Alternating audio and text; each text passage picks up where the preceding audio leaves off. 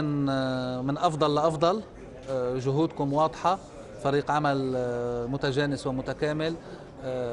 ما راح أحكي عن الأمور التنظيمية يعني أصلا شهادتي مجروحة ولكن يعني عن جد بيضتوا الوجه مؤتمر حضور فعلا على مستوى رائع.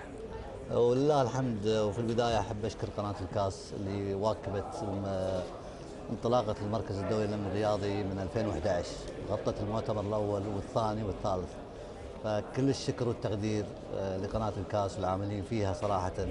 لأن دور الإعلام اخبر مهم جدا في قضية الوعي آه، وأهمية الأمن الرياضي خاصة في الوطن العربي. ولهذا السبب أمس آه، كان الاجتماع الأول لإطلاق مبادرة من قطر للشرق الأوسط وشمال أفريقيا. اللي صار أمس. اللي صار أمس ونشكر سعادة الشيخ عبد الله بن ناصر.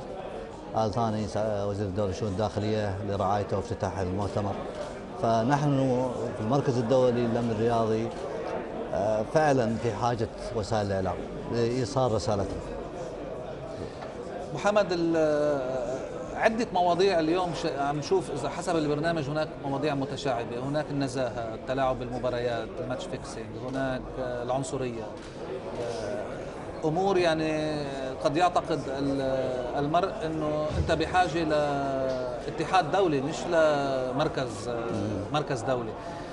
كيف رح تتعاملوا مع هالأمور؟ اليوم وقعتوا اتفاقية يعني قبل أن تجيبني على السؤال اليوم وقعتوا اتفاقية مع الاتحاد القطري لكرة القدم ومع منظمة الدول الأمريكية. شو هالاتفاقيتين؟ طبعا اتفاقية مع اتحاد الكرة القطري آه، نشكر سعاده الشيخ حمد بن خليفه على ثقته في المركز. آه، طبعا مش غريب أن الاتحاد القطري لكرة القدم دائما يسعى إلى توظيف معايير جديدة لتحسين عوامل الأمن والسلامة ولجعل كرة القدم ممتعة للجماهير اللي تحضر الملعب. طبعا الآن أصبحت كرة القدم صناعة وفي أصوات كثيرة تدعو القطاع الخاص للاستثمار في كرة القدم أو في الرياضة بشكل عام. القطاع الخاص ورأس المال جبان. إذا لم يرى أن في معايير دولية وفي مقاييس يعني تحترم وترتقي وتجذب الجمهور وتحمي الاستثمار. وتحمي الاستثمار فيعرف بالتالي إن هناك فوائد يعني لكن الآن قطر سباقة. وهذا الإرث اللي استفدناه كشباب قطري من إن قطر تستضيف تقريبا 40 بطولة عالمية في السنة.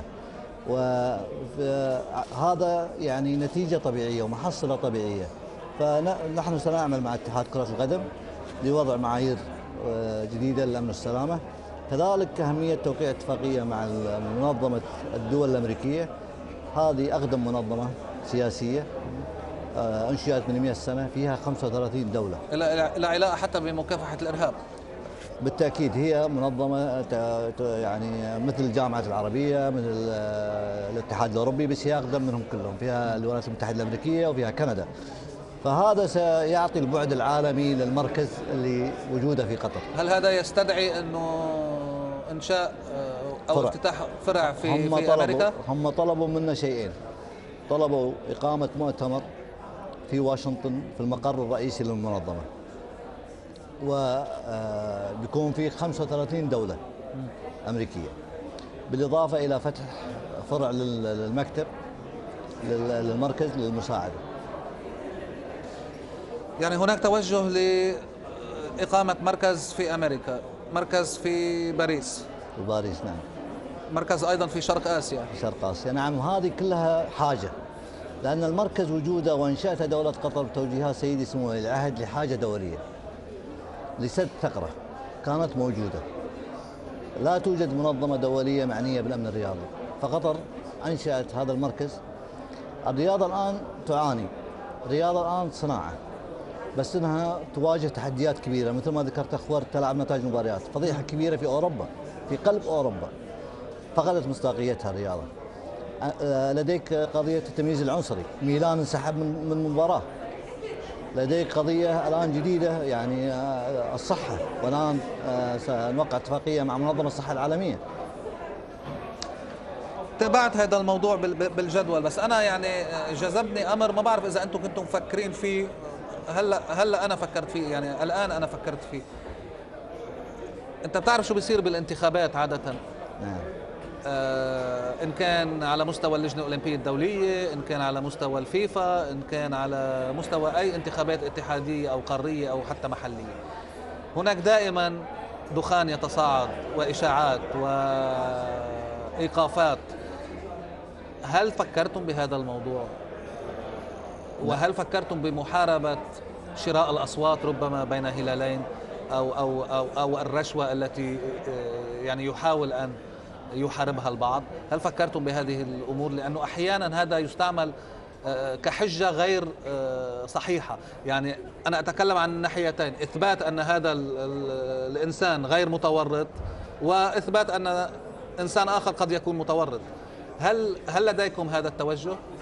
بالتأكيد لدينا هذا التوجه. وإحنا لما وقعنا مع جامعة السوربون ووضعنا العنوان الرئيسي آه، لمحاربة الفساد ووقعنا مع البنك الدولي كذلك الشهر الماضي كشريك استراتيجي آه، في النزاهة الرياضية. فهنا آه، يعطي دلالة عن أن المركز رايح لبعيد في موضوع النزاهة في الرياضة لأن تحسين الرياضة يعني لما لا يشرف على انتخابات يعني المركز. إن شاء إن شاء الله في يعني يعني قضايا كثيرة في الفساد في الرياضة وللاسف يعني لا نستطيع وبعمر المركز سنتين آه، إن إحنا آه، نعالجها. آه، تحتاج تعاون دولي تحتاج يعني جهد كبير. لكن الخبرة موجودة. نحن على اطلاع بما يجري في العالم وليس في الإقليم. لدينا مصادرنا. آه، لدينا الإمكانيات للتدخل والتحقيق وكشف معلومات. ولدينا قاعدة بيانات موجود فيها تحدث بشكل يومي. وقضية تلاعب نتائج المباريات اللي اثيرت من أسبوعين أو ثلاث أسابيع في أوروبا. نحن حذرنا منها في شهر أوغست اللي فات شهر 8 صحيح. 2012 حتى على هامش أولمبياد لندن. هامش أولمبياد لندن وحذرنا وحتى البريمير ليج دوري المحترفين الانجليزي الديلي ميرر ذكرت انه المركز الدولي للامن الرياضي يقول كذا كذا كذا عن دوري المحترفين الإنجليزي انه في تلعب نتائج مباريات. فإحنا سبقنا أصلا اليوروبول في قضية اثارته أنا أعتقد إنه نحن يعني وصلنا إلى مرحلة خلاص تعدينا آه، فكرة أنه نحن نحذر ونحن يعني نستبق الأمور. نعم. الآن نريد أن نحل الأمور وأن نوجد لها حلول. أليس طبعا لا, لا توجد حتى الآن منظمة طرحت ثلاث حلول عملية لمحاربة الفساد في الرياضة غير المركز الدولي من الرياضه وهذا في عمر قصير في سنة. أول شيء اتفاقية مع السوربون لإصدار أول ميثاق دولي لمحاربة تلاعب نتائج المباريات على مستوى العالم ميثاق دولي أو اتفاقية دولية. رقم اثنين إطلاق مشروع أنقذ الحلم Save the Dream مع اللجنة الأولمبية القطرية. وهذا موضوع مثل fair play سيكون عالمي ومنطلق من قطر لدينا كذلك اللي له علاقة في ديل بيرو. اللي له علاقة بديل بيرو 15 athlete 15 لاعب دولي سفراء المشروع الثالث واللي هو مهم مهم جدا هو موضوع مؤشر النزاهة. وهذا لأول مرة يطلع مؤشر نزاهة من حتى يعني الوطن العربي. مؤشر النزاهة بالشراكة مع من؟ مع البنك الدولي أهم مؤسسة مالية في العالم.